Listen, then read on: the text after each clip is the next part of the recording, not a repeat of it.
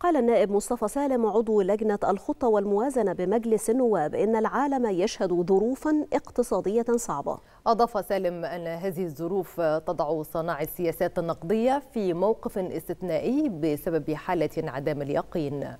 كلنا شايفين الظروف العالمية اللي بيمر بها العالم كله التداعيات المتلاحقة فيروس كورونا ثم موجة التضخم الأسعار العالمية ثم الحرب الروسية الأوكرانية.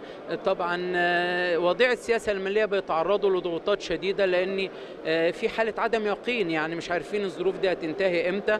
الظروف دي أثرت بشكل مباشر وغير مباشر على كل دول العالم. ومصر طبعا جزء من العالم جزء لا يتجزأ تأثرت بشكل كبير بهذه التداعيات. هذه التداعيات تداعيات ترتب عليها يعني من أهم التداعيات اللي ترتبت عليها رفع أسعار الفايدة وبالتالي رفع مستوى يعني الدين العام وأيضا أثرت على أسعار المواد الغذائية. نقص المواد الغذائية وارتفاع في الأسعار أثرت على سلاسل الشحن أثرت على تكلفة النقل على أسعار الطاقة.